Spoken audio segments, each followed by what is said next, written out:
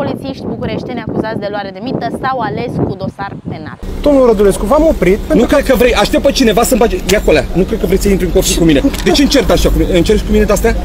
Mă, e fiartă poliția rutieră pe dat tot felul de amenzi, dar uite că și vechiul obicei de luare de mită încă n-a fost eradicat total.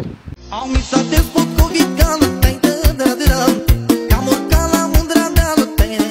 polițiști bucureșteni au fost acuzați că au cerut sume între 200 și 1300 de lei pentru a-i lăsa pe șoferii contravenienți să circule în continuare liniștiți.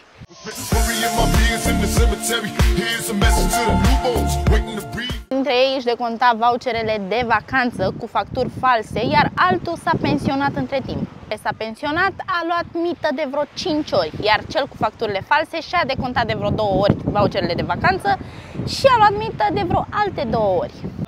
Vai, domn polițai, probleme cu mine n-ai Astăzi seara plec acasă oricum Sumele nu sunt unele colosale, dar puțin cu puțin se face mult și să nu uităm, jobul oamenilor acestora până la urmă este să aplice legea, nu să o încalce.